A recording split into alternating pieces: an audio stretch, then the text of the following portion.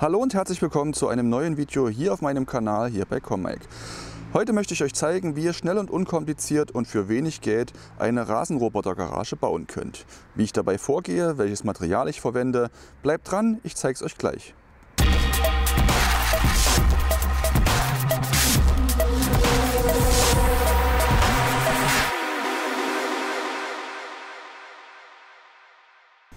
Ja, ihr Lieben, ihr seht hier meinen Rasenroboter, meinen Gardena Sileno. Der Rasenroboter stand bis zum Herbst letzten Jahres noch in einer eigenen Garage. Leider wurde diese zerstört, als ein großer Baum hier umstürzte. Da seht ihr noch die Reste. Auch die Gabionen sind beschädigt worden, das muss auch noch repariert werden. Und nun im März 2020 beginnt die neue Saison und ich möchte den Rasenroboter wieder fit bekommen. Ich habe die zerstörten Kabel bereits repariert. Nun ist es aber an der Zeit, dass ich die Robotergarage ebenfalls wieder repariere. Ich habe mir hierzu ein fertiges ähm, Set gekauft. Das werde ich jetzt zusammenbauen und nehme euch bei der Gelegenheit einfach mit. Ja, Lieben, in einer solchen Kiste wird das äh, Ganze geliefert, diese Robotergarage. Die Größe könnt ihr hier, denke ich, ganz gut sehen. 78 cm x 84 ähm, im Grundmaß, in der Höhe 60 cm. Die Einfahrt ist zumindest für den Gardena Sileno völlig ausreichend. Die neuen Rasenroboter sind ja sogar etwas kleiner, dass dann noch weniger Probleme bestehen dürften. Ich habe dieses Modell bereits in den letzten Jahren verwendet, bevor es dann eben durch diesen umstürzenden Baum beschädigt worden ist. Ähm, aktuell jetzt per März 2020 für 42 Euro den passenden Link setze ich euch natürlich unten in die Beschreibung. Ich packe das Ganze jetzt einfach mal aus, um zu schauen, ob die Ware auch unbeschädigt angekommen ist. Und ihr seht, bei diesem Modell ist gar nicht so viel Arbeit notwendig. Da ist das meiste schon vorbereitet worden. Wir haben hier die Seitenteile. Ja, die sind äh, in dem Zusammenhang getackert die sind aber auch schon vorgebohrt.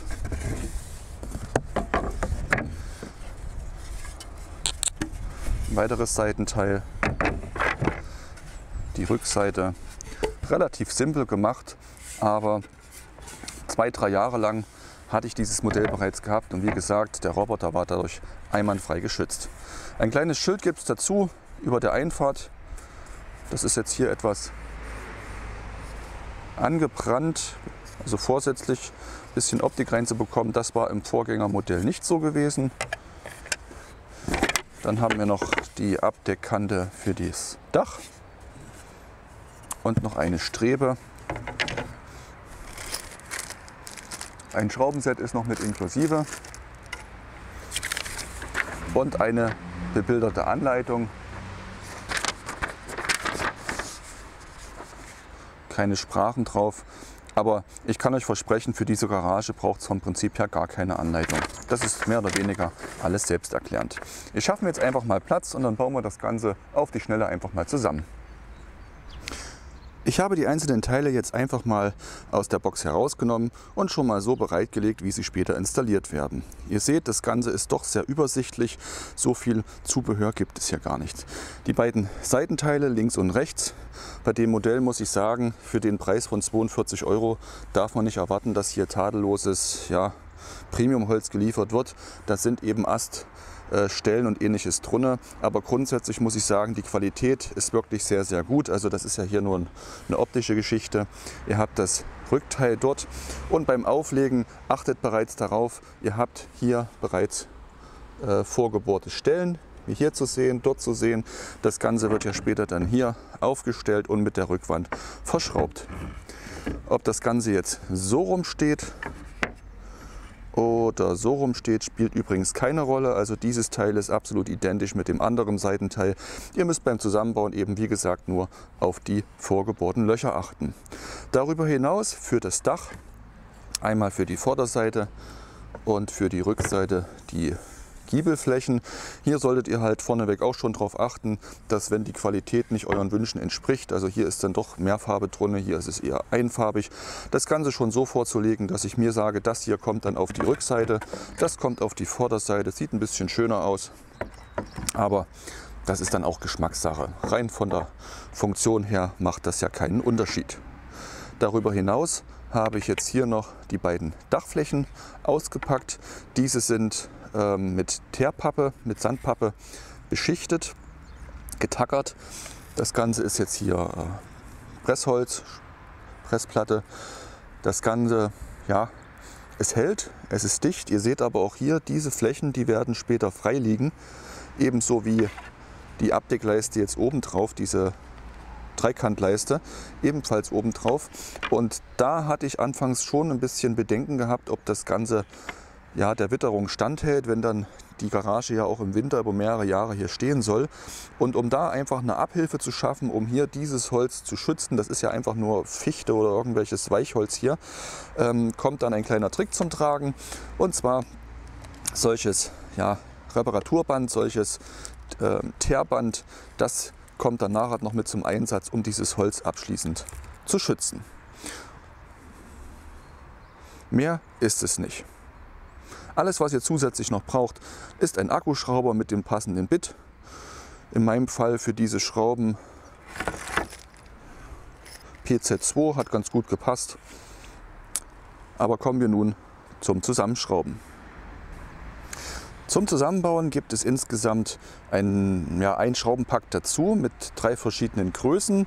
Äh, jeweils 3x16 6 Stück, 3,5 x 30 10 Stück und 8 Stück nochmal 3,5 mal 40 mm. Die großen Schrauben, die 4 cm Schrauben, die sind dann dafür gedacht, diese Seitenteile zueinander zu bauen. Das geht aus der Anleitung, muss ich sagen, auch relativ gut draus hervor. Da ist dann mit A, B und C das Ganze beschriftet und damit möchte ich an der Stelle auch gleich beginnen. Das heißt, wir schrauben jetzt einfach mal die Seitenteile hier zusammen. Ja, letztendlich werden diese Teile einfach nur so ineinander gesteckt und dann von der Seite aus verschraubt.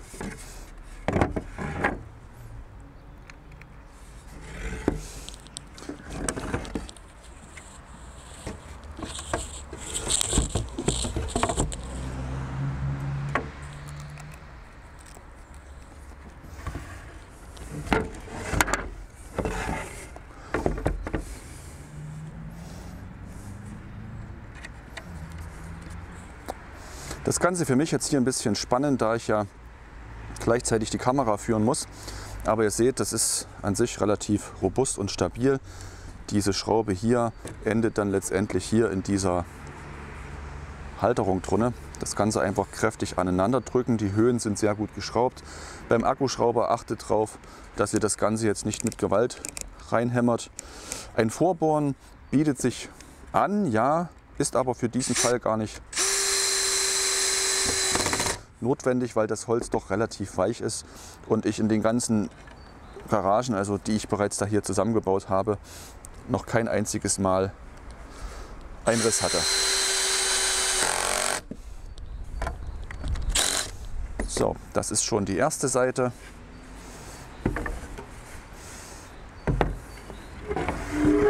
Das Ganze umgedreht. Ihr habt jetzt hier das Holz wieder, ja, die vorgebohrten Löcher. Die seht ihr jetzt hier. Das wird wieder hier so rangestellt einfach. Dann eben mit den 4 cm Schrauben, die es dazu gibt, einfach in die vorgebohrten Löcher hinein. Das Ganze gut aneinander gedrückt. Ja, da kann man hinten auch ganz gut anfassen, das geht schon.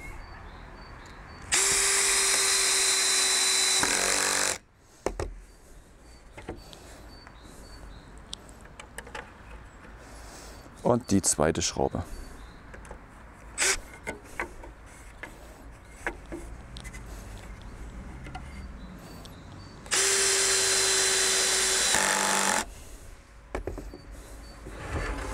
Und somit ist der Korpus von der Garage schon fertig. Ihr seht, das hat doch relativ große Dimensionen.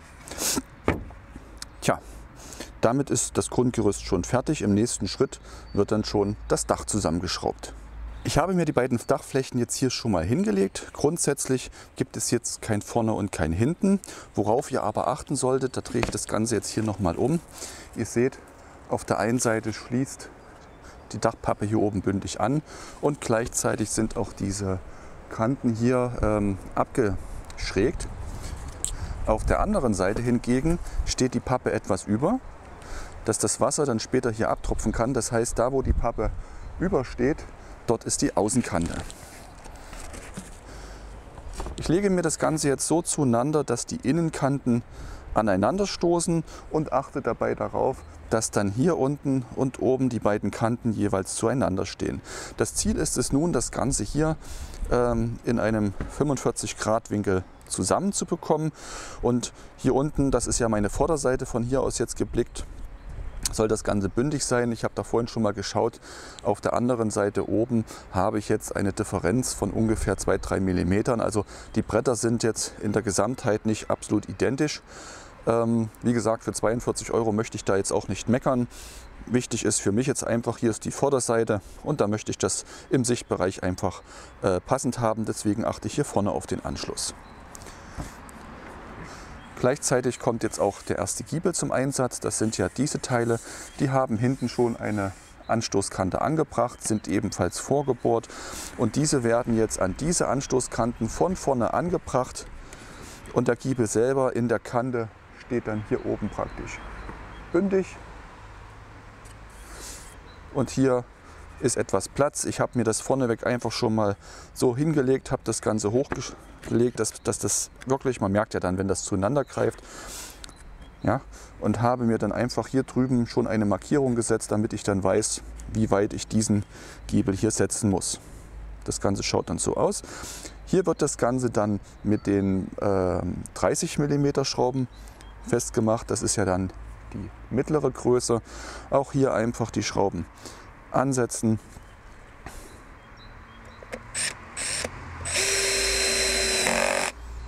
Eins.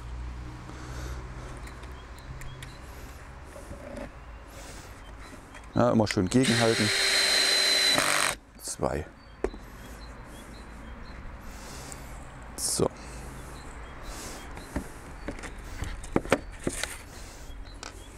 Dann wird das Ganze einfach jetzt hier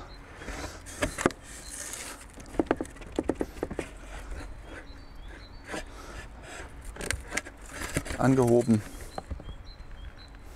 Ich möchte es jetzt vorne einfach hier auch bündig haben. Macht es jetzt ein bisschen schwieriger, mein Untergrund. Ich mache das hier auf der Terrasse. Ist natürlich sehr rau. Da klemmt das Ganze ein wenig. So.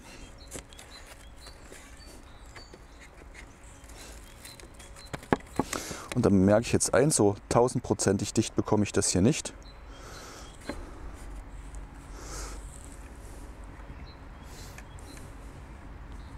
Weil die Anschlaghölzer, die hier hinter liegen, eben dann doch nicht so perfekt aufeinander abgestimmt sind.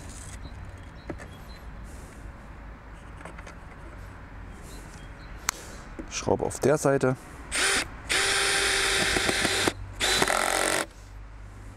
Dann hält das Ganze schon. Und noch die zweite. Das Schöne ist, wenn ihr einfach mit dem Daumen richtig, richtig reinkräft. Das Holz ist so weich, dass das Ganze schon greift.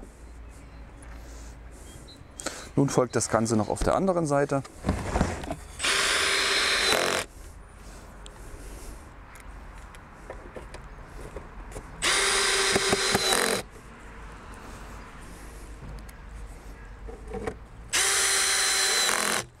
Und somit haben wir das Dach an den Giebel geschraubt. Ich drehe das Ganze jetzt mal um. Dann seht ihr jetzt von oben, so richtig perfekt bündig ist das Ganze nicht. Hier oben ist das Ganze auch noch offen. Und da kommt dann diese Abdeckleiste hier ins Spiel. Die wird dann hier aufgebracht.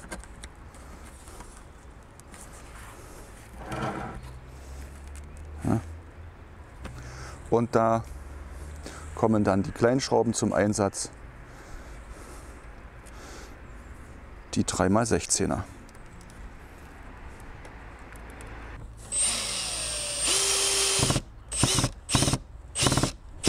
Ja, der Bit passt dann auch nicht so richtig komplett. Ich habe jetzt den Korpus wieder hergestellt, da ist jetzt noch nichts dran gemacht worden. Und für die vordere Stabilisierung gibt es diese Leiste noch mit dazu. Die ist hinten eingefräst, dass die praktisch direkt hier diese Kante mitnimmt. Ja, und da äh, gibt es jetzt nur eine Sache zu beachten. Das geht aus der Beschreibung äh, jetzt auch nicht sehr deutlich hervor, weil die Bilder da nicht genau genug sind. Ähm, das Ganze so zu drehen, dass die äußeren Schrauben oben sind, die vorgebohrten Löcher. Das heißt, dass diese Schrauben jetzt hier direkt hier oben in dieses Holz hineingehen und die untere Schraube dann in dieses Holz hineingeht. Das Ganze soll ja mit der Kante hier bündig sein.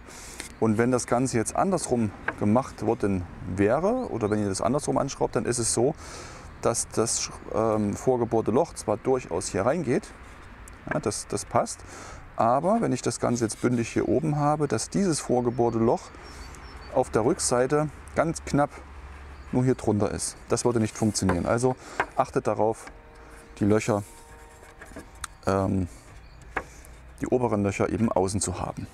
Das Ganze hier wird jetzt wieder mit den großen Schrauben festgemacht, mit den 40er Schrauben. Ihr macht eins, das Ganze bündig mit der Oberkante.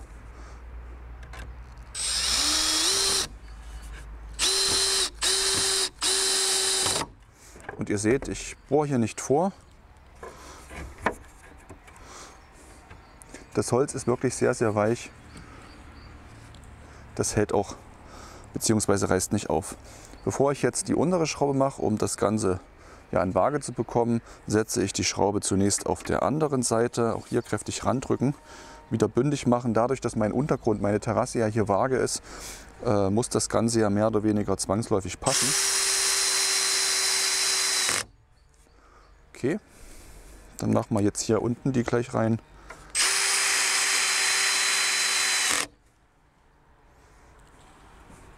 Und auch hier unten die rein.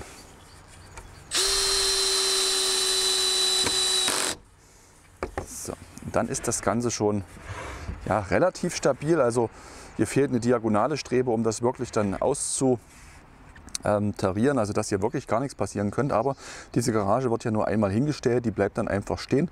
Und der Roboter an sich hat ja auch keinen Kontakt mit der Garage, dass hier irgendwas passieren könnte. Das hält dann schon. Wir nähern uns dem Ende des Zusammenbaus. Ich habe jetzt einfach das Dach noch mal hergelegt. Das ist ja vom Prinzip her schon fertig, aber ich hatte es vorhin schon angesprochen, dass ich hier mit diesem Betondichtband noch etwas Besonderes vorhabe. Dieses Dichtband an sich, das ist äh, ja wirklich sehr, sehr klebrig äh, Teer oder, oder Betum, was da hier aufgebracht ist, auf eine kräftige Klebeschicht. Dieses Band werde ich dann über diese Holzleisten zusätzlich noch drüber bringen.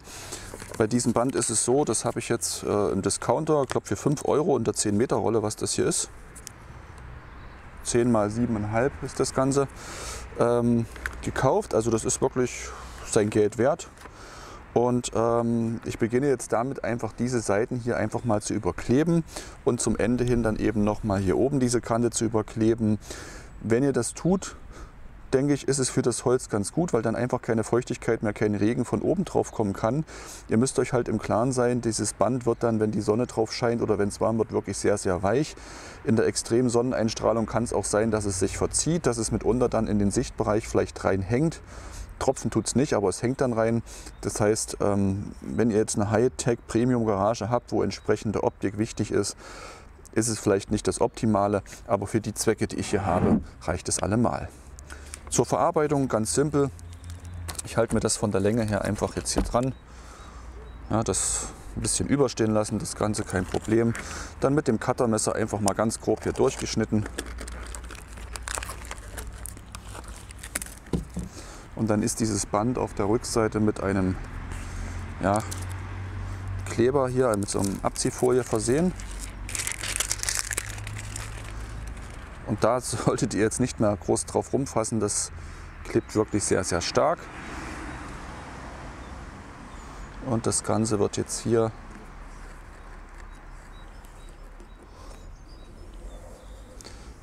aufgebracht, reingedrückt die Außentemperaturen jetzt hier, während ich das Video drehe, sind knapp unter 10 Grad.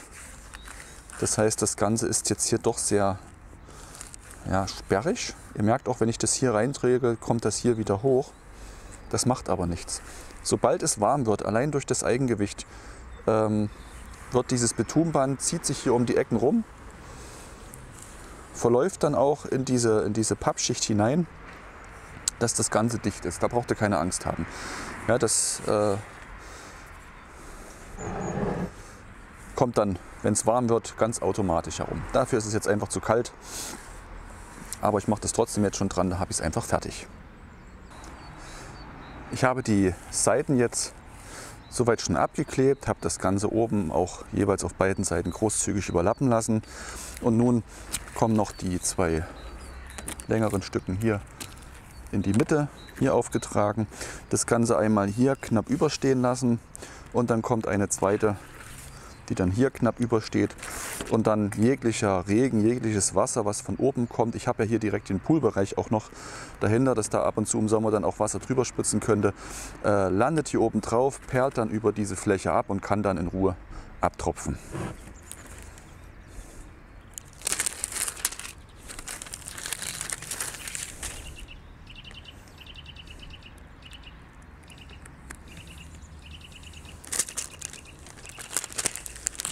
Meine, ihr seht, es klebt dann wirklich sehr, sehr gut.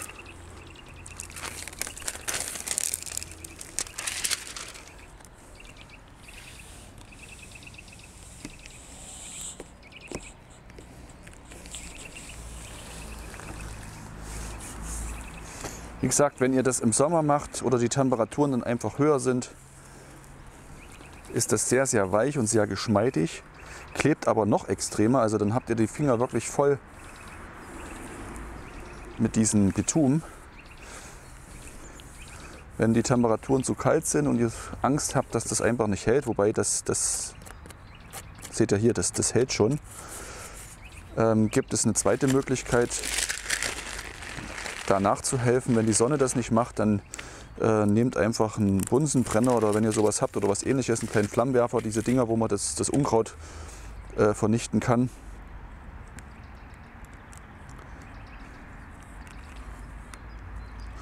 So, und auch hier seht ihr über die Mitte hinweg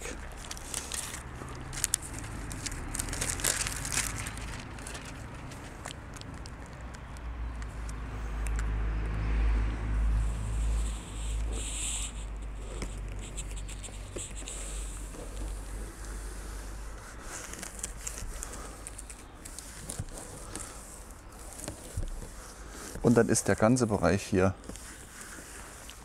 geschützt. Wie ihr sehen könnt, habe ich jetzt die Garage, den Korpus schon mal an die Position gestellt, wo er später, äh, später bleiben wird. Der Rasenroboter steht auch drinnen, vom Platz her alles ausreichend. Und nun kommt ja das Finale, dass ich einfach das Dach aufsetze. Das wird einfach nur aufgelegt.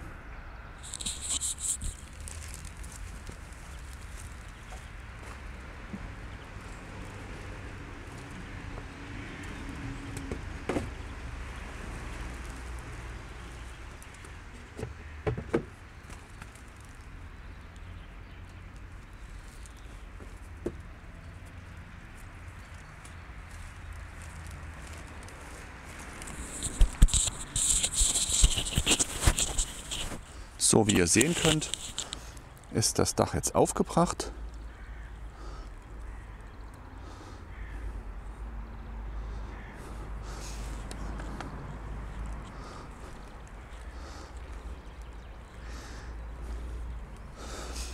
Das wird einfach hier oben in den Kanten, hält es dann in sich rein, also in sich fest. Das Dach ist äh, wirklich, das äh, entspricht dem Innenmaß von dem Korpus, dass das in sich hier dann drin hält.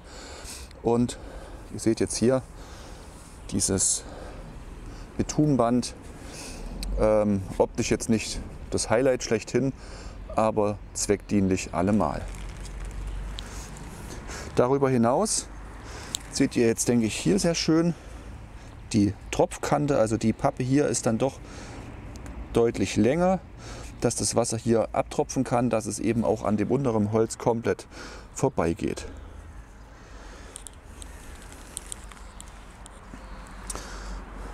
Alles, was jetzt die Garage selber noch benötigt, ist dann einfach, wenn ihr mögt, die Anbringung dieses Namensschildes.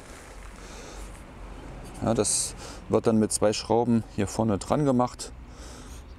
Ich habe den Roboter jetzt in den Parkmodus geschickt, das heißt, der hangelt sich jetzt entlang des Steuerkabels Der war den ganzen Winter eingemottet. Der Akku letztes Jahr übrigens noch komplett voll gewesen um diese Zeit. Diesmal schon ja, auf drei Viertel runter. Also da macht sich dann die Lebensdauer dieses Akkus auch bemerkbar. Aber ich glaube, das sieht gut aus.